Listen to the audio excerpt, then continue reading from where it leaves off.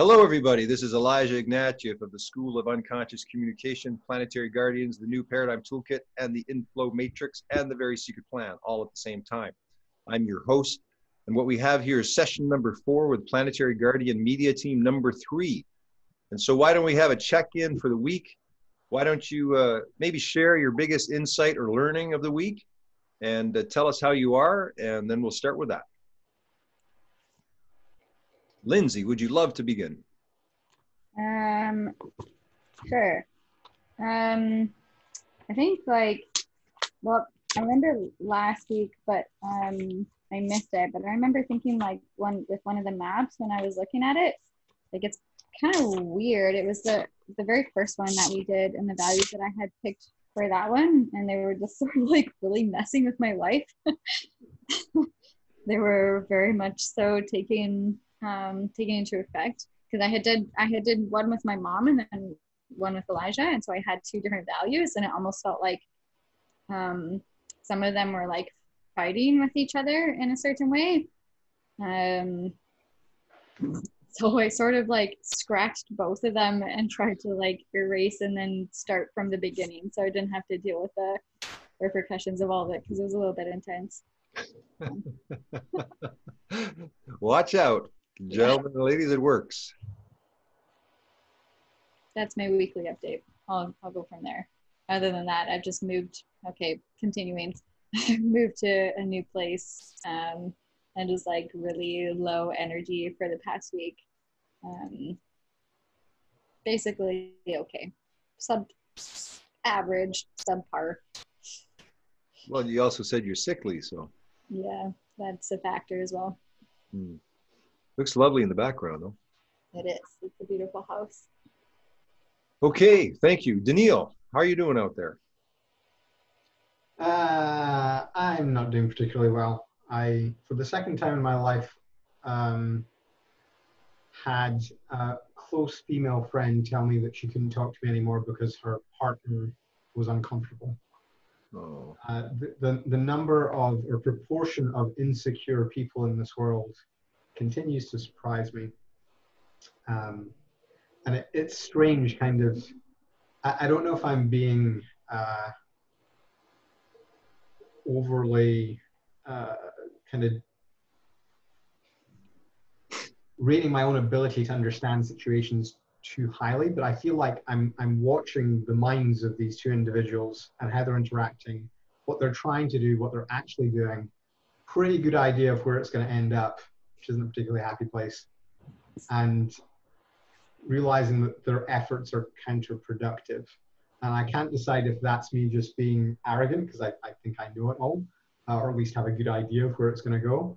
Um, or it, it really is just that way. Uh, as I've kind of progressed on my development journey, I feel like my understanding of what's going on in the world and the there's going to be layers added to my understanding of what drives people, the, the patterns that they fall into, often those that are counterproductive, uh, has increased quite dramatically. So there's a lot more complexity to life than there used to be. Um, and, and I, in a lot of ways, I, I can't decide if that's a good thing. I feel like there, there's a lot of truth to the whole ignorance is bliss. So when I watch someone I care about who's very smart and very capable go around this pattern that is self-destructive, it, it makes me very sad, along with the fact that I've lost a close friend. Um, and just that she's telling me, oh, I, I hope this will just be temporary. He'll, he'll become secure. I'm just going, it's just no way. Because if even if this goes well, right, your relationship is going well, you're not going to want to reestablish contact because that rocks the boat. And if it isn't going well, you're not going to want to reestablish contact because you're afraid of making it worse. So there's just unless you actually break up with this guy, which I don't think is the right path forward, it's just uh, irritating. Um, anyway, uh, that happened last night, and I am sad because I, I don't have many friends who I feel understand how I think. In fact, I've got one at the stage that's left. There's different people who understand different aspects, but uh, it's rare to find someone that I think really gets how I think. Uh, so losing one out of two is painful. Uh, and I also don't think it's going to be helpful for her in the long run either because she's pretty complex and there's not many people who understand her. Hmm. Just quick question. What was your one-on-one value?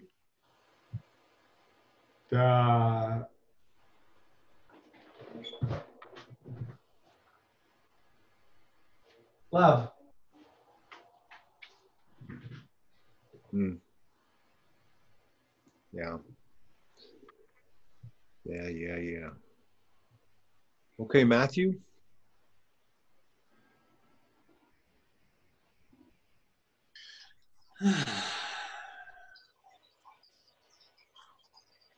okay. So I'm doing good. And the what I learned this week is a Japanese proverb. It says, fall down seven times, get up eight. So that's kind of like my life, except I think I'm like up. What I'm trying to say is um, my life's going really good. I spent the last 10 to 15, let me check, 10 to 12 years learning how to like get back on the horse and deal with my self thoughts in my head my self and um you know i've done really good at that that game of kind of going down that rabbit hole applying myself fully into like self development so to me these days my check-in for this group is like my life is so many falling downs and getting ups. It's so integrated that I don't really do either of them anymore. It's just a coasting. And if there's bumps, it's so mostly unnoticeable. Um, I like feeling the extremes of life. I'm not afraid to feel terror or bliss either. So I still swing into those places.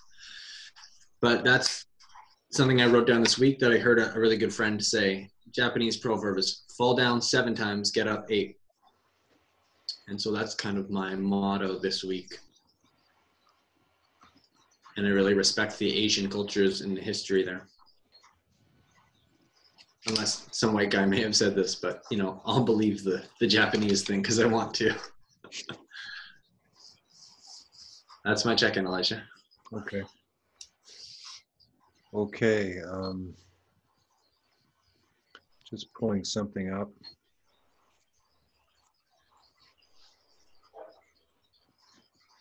I guess on on my uh, if I have a bit of a check-in, I, at some point I was I went into super pissed.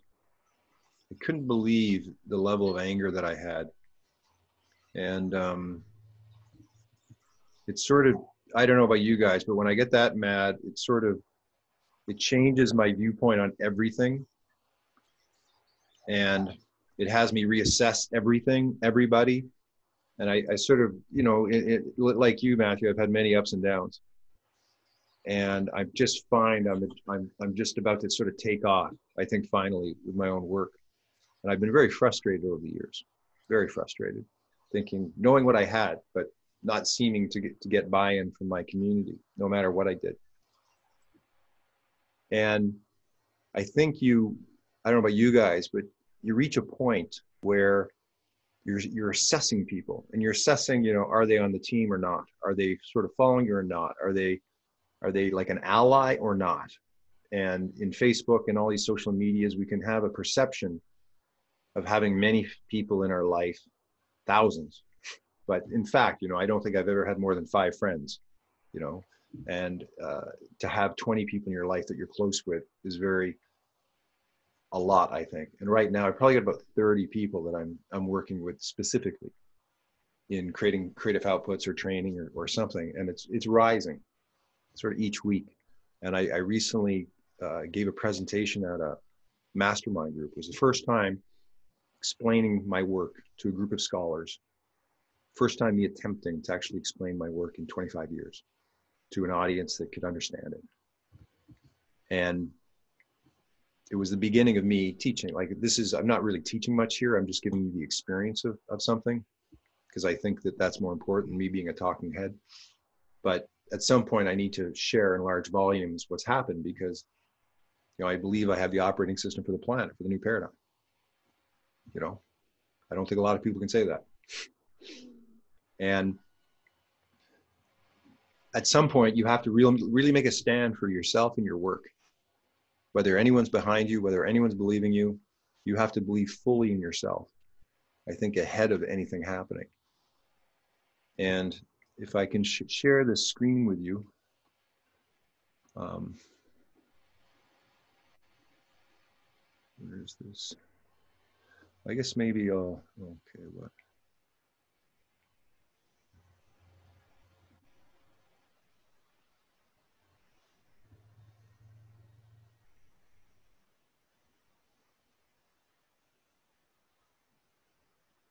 Sorry, I'm just a little slow here.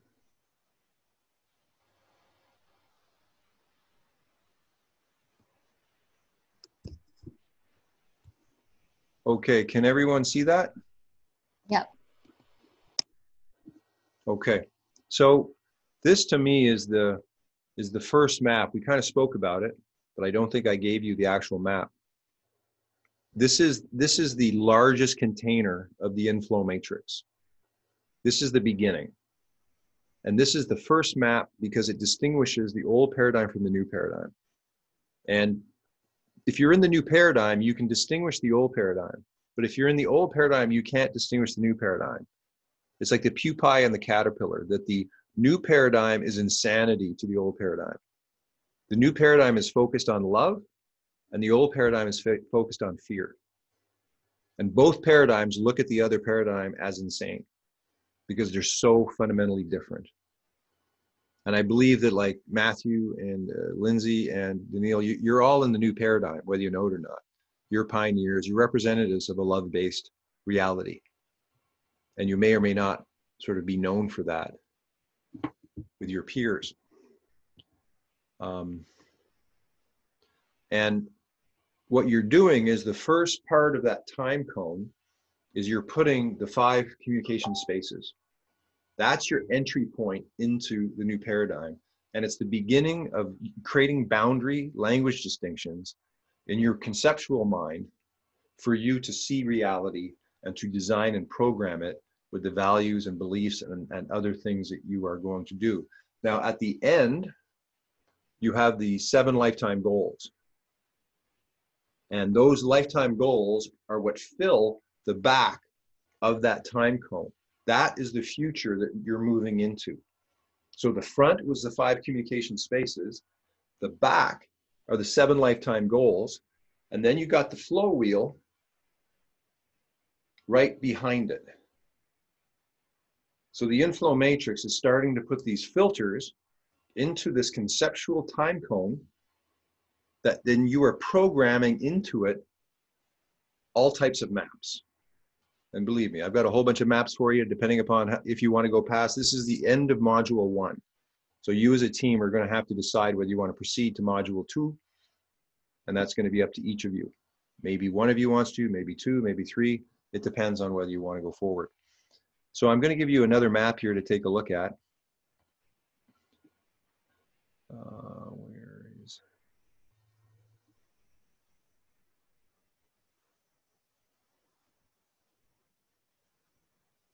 Okay, can everybody see that? It's the one year, 13 cycles, four spaces, pulse chart. And so what we're looking at in the time translator is we have nine time cycles and the sec the, the one on the outside is a lifetime cycle and the next one in is a year cycle. So it's the second biggest cycle that we have. And right here, the it's divided into 13 cycles. You could call them 13 moons, but basically it's 13 cycles of 28 days. 13 times 28 equals 364, and there's one day out of time. Now, who here has studied a Jose Argüelles uh, Mayan calendar system at all? Just a little bit, Matthew, Lindsay, anything? Okay, so these words you see magnetic, lunar, electric, self existing, rhythmic, resonant, galactic, solar, spectral, planetary, crystal, and cosmic, and overtone in the middle. This comes from his 13 moon calendar. And this is kind of like a, a layering on of his worldview, connecting into another worldview, which has the four spaces. Now, if we look at the here, we have the personal space, the one-on-one space, the community space, and the group space. And this goes to your first map that you made. And what I'm putting forward is that in a 28 day cycle, basically four weeks, one of the weeks is the personal space, one of the weeks is the one on one space, one of the weeks is the community space, and one of the weeks is the group space. Now, what that does is it's going to start to synchronize all the people and teams in this pulse where personal space is your time. That week you get to do by yourself on your own, whatever manner. But that community space, now you're looking to connect with your community, and all the people in the community are coming together at the same time. Because if we all start to use this pulse map together, we can start to come together in community. And as you probably know, sometimes it's very hard to synchronize people to get them in the same room over and over again. With this methodology, the aim is that we can. The group space is kind of like when you meet your team and do a lot of your work. You might have three or four meetings in one week with a team and then maybe not see each other for the rest of the month because you're doing the actual work that you said you're going to do and that you're reporting on. The one on one space is spending time with just one person or your loved one or some partner, depending. And, and you don't have to have just that space. You can have community space in your personal space. You can have personal space in your community space. But if you look at scheduling your week, you can start to look at, you know, you might go group space, and that's all the time you're spending at work, Daniil. And Matthew, you may have one-on-one spaces with all the people that you're coaching. And Lindsay might have personal space, you know, all the time that you want your own personal space alone. So you can start to look at your week and not just look at the content of what you're doing, but look at each of these things as spaces that you're you're starting to see like how much time do I spend in the community space? How much time do I spend one on one? How much time do I spend personal? And how much time do I spend in the group space?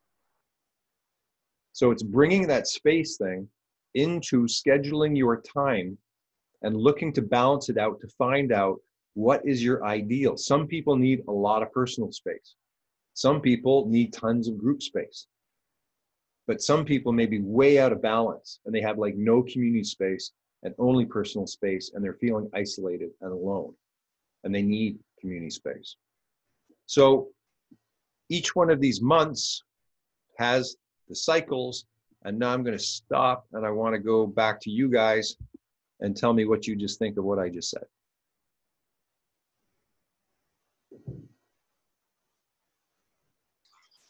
Okay. I think it's deep, heavy. It's very like I Ching. I think of like these, you know, huge uh, calendars and, and how it ties into the psyche. So that's what it, the engines and it runs in me. Um, I don't know what else to say. I see it as like big, good, cool concept stuff. I can't. It's nothing's landed personally. I'm like, where does this apply in my day to day? But I don't really need that. I I feel it bigger and get it. But if you want to get both spec- sides of the spectrum of enrollment into what you've manifested or created, then also do both sides. That's kind of my thoughts of it all. Okay. Any suggestions of how? I mean, in a sense of. Uh, you can share personal stories too. Like I, Elijah, have been using this, and look, I wake up and I look at this, and it means this, and and I now take these actions, and yeah. Okay. Okay, I can do that. I mean, one thing is I have a, uh, I have a like a weekly s- schedule kind of thing, right? Hmm.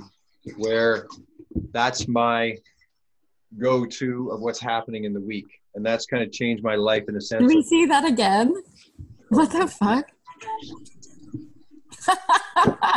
That's hilarious. So it's I've got e- everything mapped out, obviously, and I've got the seven-step pulse model across. Do have I showed you that one yet? And the seven-step pulse model in a day, So it's it's it's and then you, what you have is you have cards. That's my personal space. You use it with blue, and this is green. You can get those index card packs where you have four different colors. You have red, green, yellow, and blue. And so if I'm just doing personal space research or something, that's blue. Just can't see the color that well. Community space is green. Yellow is one-on-one space, and red is the group space. So I have, you know, specific one-on-ones I'm filming with people. I have team trainings I'm doing with people. I have, you know, my own personal. If I'm doing videos, it's just me, and uh, so that's one way. Planetary Guardians one team, as soon as they heard about the spaces, they started scheduling their time together. Now they they live together and work together. So they started looking at their week and they scheduled their time. You know, when do they have the group time? When do they have their one-on-one? When they have, and it revolutionized their life. They said that was like the first thing they did together, and they they had some huge shifts in how they connected with one another. So that that I mean, and I didn't say to do that. They did that on their own. How about you, Daniil? Any feedback or thoughts? Uh, I was interested by Matthew's response because uh, my, my, takeaway was from the you know brief uh, time of thinking about it is much simpler. Uh, I think being conscious about how you're spending your time and potentially how you're scheduling that time will be helpful to, to maintain balance. Um, at the same time, I was already aware that my community time is very low, mainly because I, I, don't feel a connection with the the people around me primarily um, in New York. Uh, but that doesn't mean that I can't find communities to connect with if I, I dig for them. Uh, group one-to-one and personal vary in this current situation. Everything except personal is, is pretty limited. But I think uh, most people are in that situation at this point. But I, I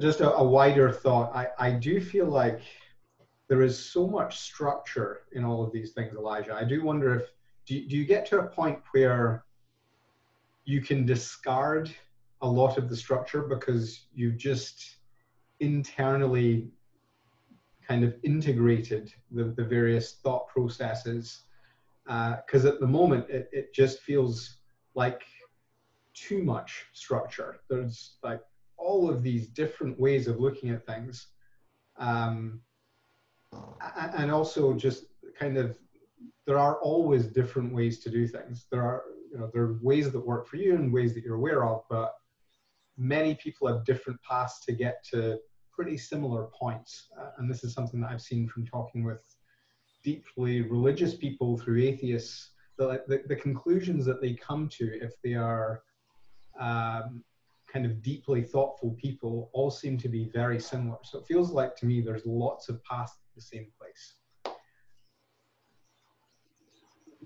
Um, okay, my answer would be, I mean, I, I, I think I have gone a little overboard with the structure.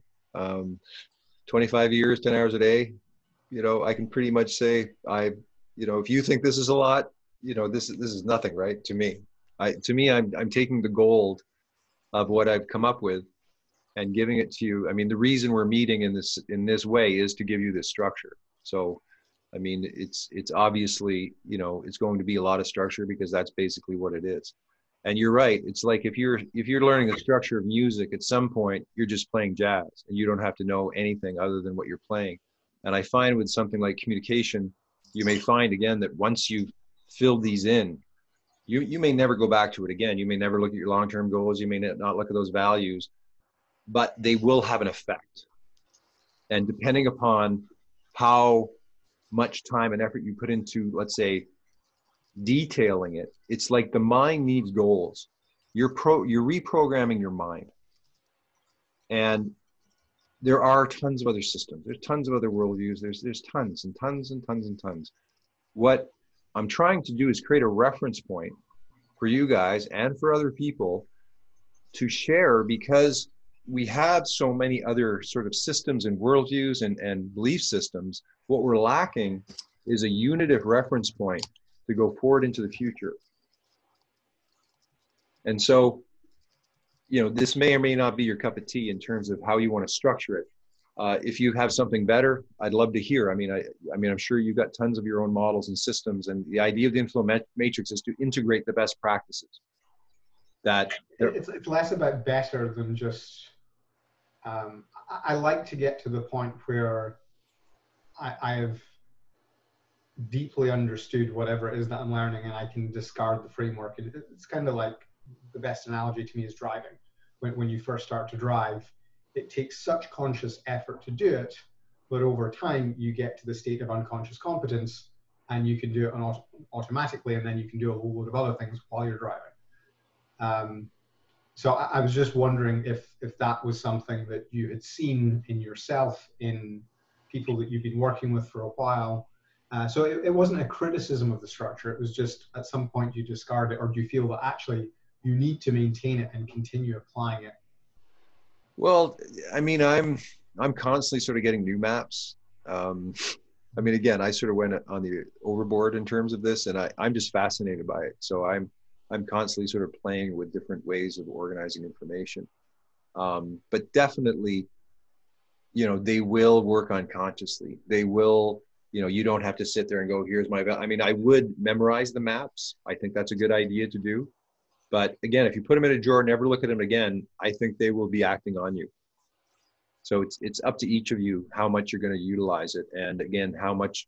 Some people they don't like structuring anything, and and that's fine. Um, I think in the work that you're doing, obviously operations for a healthcare company, that you're going to have certain systems and structures that you're trying to get people to use that are useful, right? So I mean, at the end of the day, the main goal is they're useful. I mean, most people that I've met don't have a conscious value system. They don't have a way of linking this conscious value system to their business, and they don't have like they haven't really form, formatted their mind in any way at all. So that's very different from you, who's who's done a lot of self development and is actually working in, in the business using stuff like that, right? Got it. How about you, Lindsay? Um, I would say like in general, the I'll add a little bit to that. I can definitely attest to making the maps and then never seeing them again and then having them take effect. It is like a really weird thing um, that typically happens for whatever reason. It's like, I don't know, it's, it's sort of like it reaches into some weird part of your unconscious and whether you're like really aware of it or not, it's sort of like your life moves in those directions. Sometimes it's good and sometimes it's better to switch the values because you realize that the values that you put in place aren't actually the ones that you wanted to be able to have in that place, even though you maybe thought that you did.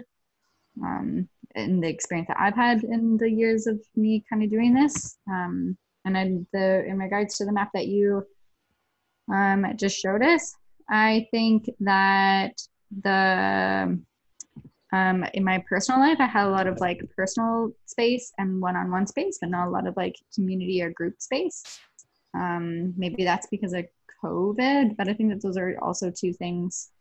Um, I think I have a hard time in all of the spaces except majorly personal space. Um, so, uh, yeah, I like that you were able to highlight the difference of like how it might like show up in people's lives, of like what the dynamic might like actually be. Like if you have a lot of group space or a lot of personal space, but not a lot of one-on-one space like i feel like that would look like you're working with a lot of people you're doing a lot of work by yourself or something but you're never actually connecting with any of the individuals or if you've got lots of community space and lots of like i don't know community space and group space but not a lot of personal and one-on-one i feel like it would be kind of similar. And you i don't know I, I like being able to think about the different dynamics of how the um, the balance of what each of those spaces would be like in your life and whether one is high or whether one's low and how they would format. Um, that's my thoughts. Wow. See, w- one of the powers of this is as more people use the maps there's there's going to be i think more connection between those people. And so this particular map that i just shared with you is, is new. I mean i've had it on my wall and i've used it but now i have it and i have the ability to share with people. And all the maps sort of gain more value as you share them with your network because then they, they become a reference point to start to self-organize all the people that are using the maps. In this particular one, right, it's, it's a whole year and looking to create this 13 step pu- pulse.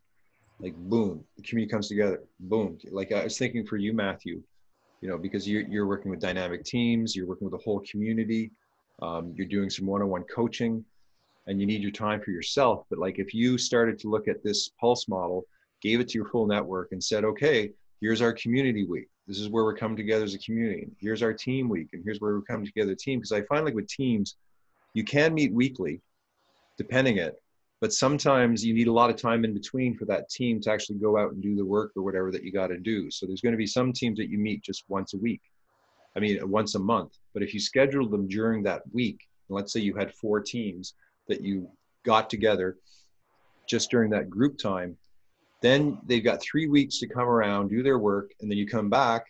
And it's again, every 28 days, you're coming back to the same sort of structure and you're seeing, okay, well, how did you do? What happened? You know, I mean, if you have it sort of too quick, the team doesn't have the amount of time. Like what we're doing here, like we're, doing training once a week.